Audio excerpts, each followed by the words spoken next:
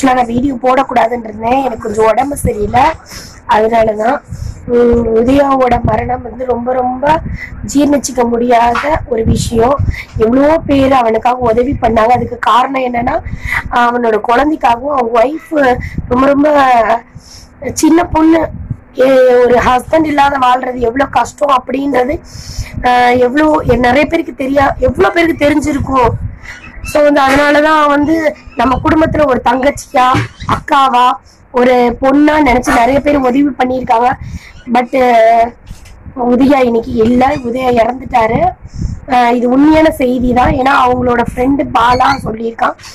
ஆஹ் இந்த வீடியோ நான் போட்டதுக்கு கூட இன்னொரு முக்கிய காரணம் ரவுடி பேபி சூர்யா வந்து ஆஹ் இப்போ கொஞ்ச நேரத்துக்கு முன்னாடி ஒரு வீடியோ அப்லோட் பண்ணியிருந்தாங்க. அது ரொம்ப ரொம்ப ஹர்ட்டிங்காக இருந்தது. ஏன் அப்படின்னா அவங்க அந்த இடத்துல என்ன ப்ராப்ளம் நடக்குது? ஆஹ் அப்படின்றது தெரியாம நிறைய பேர் பேசிட்டு இருக்கு அந்த பொண்ணு. ஆஹ் சூர்யா வந்து தேவையில்லாத வார்த்தையெல்லாம் விட்டுருக்கு. என்ன நடக்குது? என்ன மர்மம் அப்படின்னு. என்ன மர்மமா இருக்கட்டும் வீடியோ போடணும் அப்படின்னு சொல்லியிருக்காங்க. இந்த சுச்சுவேஷன் இன்னைக்கு காலையில தான் இறந்துருக்காங்கன்னு தெரியுது. இந்த சுச்சுவேஷன்ல வந்து அவங்களுக்கு ஒரு ஒரு மனப்பக்குவம் இருக்காது. இந்த மக்கள் நம்ம என்ன சொல்லணும் ஏது சொல்லணும்னு இருக்காது. அவங்க வந்து அந்த விஷயத்த தான் பார்ப்பாங்களே தவிர ஆஹ் மக்கள்கிட்ட சொல்லணும் அப்படின்ற எண்ணம் அவங்களுக்கு இருந்திருக்காது. கொஞ்சம் அவங்களுக்கு ஸ்பேஸ் கொடுக்கணும். அவங்களோட கொஞ்சம் அவங்களுக்கு யோசிக்கிற சக்தியை கொடுத்ததுக்கு பிறகுதான் நம்ம வாய் விடணும். அதை விட்டுட்டு வாய் இருக்குதுன்னு சொல்லிட்டு தேவையில்லாத வார்த்தையெல்லாம் பேசக்கூடாது. தயவு செய்து இந்த மாதிரி பேசாத. சூர்யா உனக்காக தான் சொல்லிட்டு ஒழுங்கா அந்த வீடியோ டெலீட் பண்ணிடு.